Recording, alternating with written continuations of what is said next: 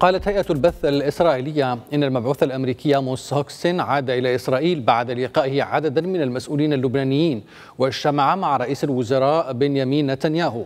قبل عودته من بيروت التقى مسؤولين لبنانيين وأكد أن من المهم العمل على إنهاء النزاع بين حزب الله وإسرائيل دبلوماسيا وبسرعة بعد التصعيد المتواصل منذ أكثر من ثمانية أشهر على واقع الحرب في غزة. وقال أوكسن إنه أجرى مع رئيس الحكومة حكومة تسيير الأعمال اللبنانية مباحثات وصفها بالممتازة مؤكدا أن الجهود مستمرة لإيجاد حل دبلوماسي.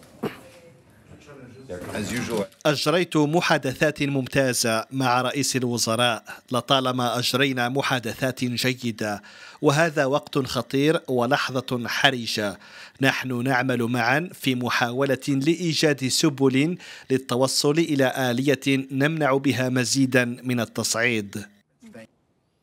ومباشرة أو ينضم إلينا مباشرة من بيروت مراسلنا خلدون زين الدين. مساء الخير خلدون. ما هي حصيلة لقاءات المفاد الأمريكي في لبنان؟ مساء النور. بداية من تل أبيب إلى بيروت فتل أبيب هذا المسار الذي اتبعه المفد الأمريكي آموس هوكستين يبدو حتى الآن أنه لم يؤدي إلى المبتغى الأمريكي تحديدا. لم تظهر النتائج بشكل واضح. كل ما علم عن هذه الجولة أن آموس هوكستين سدد على عدم الانتقال نحو حرب واسعة لا تريدها الإدارة الأمريكية حاليا. لماذا الجولة الآن؟ الجولة الآن أتت بعد التصعيد الأخير الذي حصل في الميدان. إسرائيل تهاجم في العمق اللبناني حزب الله يستخدم المسيرات والطائرات الانقضاضية. كذلك كان هناك تطور لافت جدا ومهم جدا ميدانيا. تمثل بمقطع فيديو نشره حزب الله تحت اسم الهدهد وفيه نشر صور لمنطقة شمال إسرائيل المكشوفة وصولا حتى البوارج الإسرائيلية والمنطقة الشمال المكشوفة بالكامل. هذه التطورات الميدانية المتسارعة دفعت الإدارة الأمريكية إدارة الرئيس الأمريكي جو بايدن لإيفاد آموس هوكستين نحو المنطقة لضبط التصعيد الحاصل.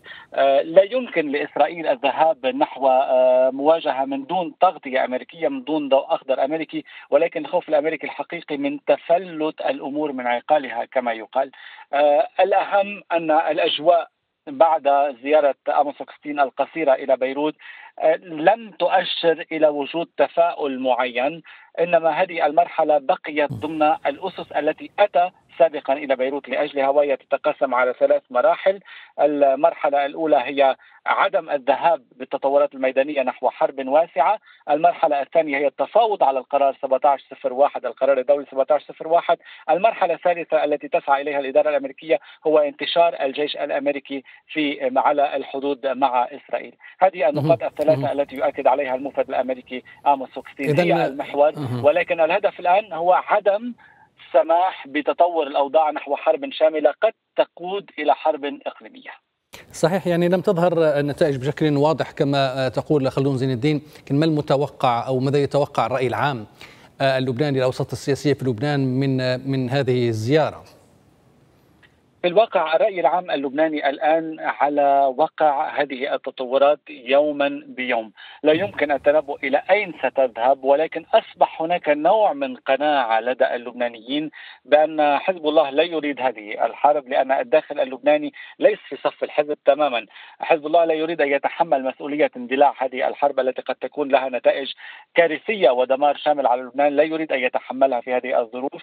إيران لا تريد هذه الحرب إسرائيل كذلك بسبب الموقف الأمريكي والضوء الأحمر الأمريكي حتى هذه اللحظة أمام إسرائيل لا تريد الذهاب بهذا الاتجاه، اذا الرأي العام قلق لا يخفي قلقه مما يجري في الجنوب اللبناني ولكن في الوقت نفسه هناك ترقب حذر لهذه التطورات لأننا كل يوم نتابع غارة وهذه الغارة لم تعد مقيدة كما كانت قواعد الاشتباك في بداية المواجهات بعد طوفان الأقصى إنما أصبحت منفلشة جغرافيا. يمكن إسرائيل أن تضرب في أي منطقة متى وجدت هناك هناك هدفا متنقلا من خلال سيارة أو موقع معين أو غير ذلك. ذكرت تسجيل الفيديو الذي يعني بثه حزب الله يعني بتزامن مع هذه الزيارة التي تأتي بهدف خفض تصعيد كما قلت حزب الله وجه يعني رسائل قوية من خلال هذا التسجيل بأن قدراته العسكرية يعني ربما اختلفت عن السابق بشكل كبير، كيف ينظر نعم. إلى هذه الرسائل وما الهدف منها؟ هذه الرسائل تأتي في سياق مفهوم. آه، كيف؟ يعني هذا الفيديو المصور والذي هو عبارة عن تسع دقائق و31 ثانية بين القدرات التي يمتلكها حزب الله فيما استلح الحزب حاول تسويق هذه الخطوة على أنها في إطار سياسة الردع بوجه إسرائيل، أننا نحن نستطيع أن نضرب هذه الأهداف، نستطيع أن نصل إلى هذه الأهداف، وهذا على حل آه، ذكره الإعلام الإسرائيلي بالتساؤل عن كيف استطاع حزب الله الوصول إلى هذه المناطق دون اعتراض سلاح الجو لهذا التدخل، كيف استطاع تصوير هذه المناطق الحساسة؟ اذا هناك نوع من سياسة توازن ردع بين الجانبين بشكل أو بآخر، هناك تطور نوعي حتى العالم الإسرائيلي يتحدث عنه في قدرات حزب الله على هذا الأصل. صحيح يعني الحزب يرى أن محاولة الضغط على لبنان يعني يجب أن تواجه برسائل آه، يعني مقابلة تؤكد أن لبنان ليس في وضعية آه، يعني ضعيفة وتجعله ينحني للضغوط الخارجية. تماما هذا لم يكن في السابق. كانت في السابق قديما في السنوات القديمة كانت أي ضربة إسرائيلية إلى لبنان هي بمثابة نزهة. أه تستطيع إسرائيل أن تضرب تستطيع إسرائيل أن ربما تجتاح الحدود وغير ذلك. أن الآن أصبح هناك نوع من توازن للردع أن هناك تطورات أصبحت يعني من خلال قبل عدد أيام يعني أسقط حزب الله مسيرة إسرائيلية من خلال سلاح أرض جو.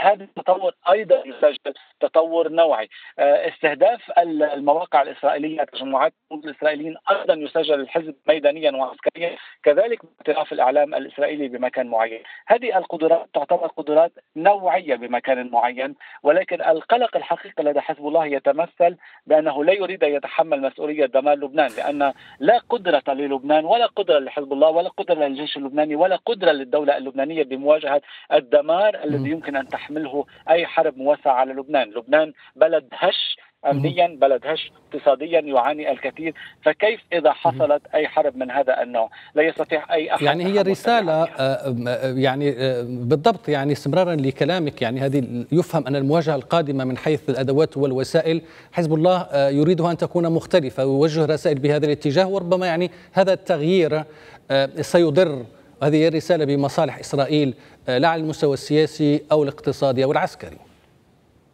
تماما. هذه النقطة هي النقطة الأهم والنقطة أيضا المهمة في هذا المشهد أن أي حرب على لبنان آه، لن تكون مقتصرة وفق المراقبين آه، وفق التطورات لن تكون حرب مقتصرة على لبنان فقط.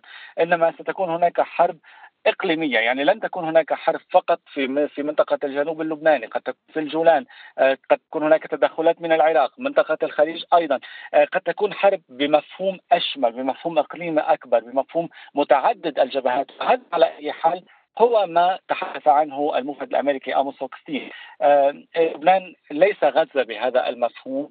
صحيح أن آه، الدمار قد يكون شاملا في لبنان. الدمار قد يضرب في عمق بيروت ويدمر بيروت والضاحية الجنوبية والمرافق الاساسيه الأجواء اللبنانية مكشوفة نوعا ما أمام أمام الإسرائيليين وأمام الطائرات الإسرائيلية مهما ملك حزب الله من قدرات ولكن في الوقت حزب الله يحاول أن يثبت ويبين أنه بخلال دقائق قليلة يستطيع أن يطلق مئات الصواريخ الصواريخ نحو أهداف محددة وكل شيء واضح بالنسبة له أمامه.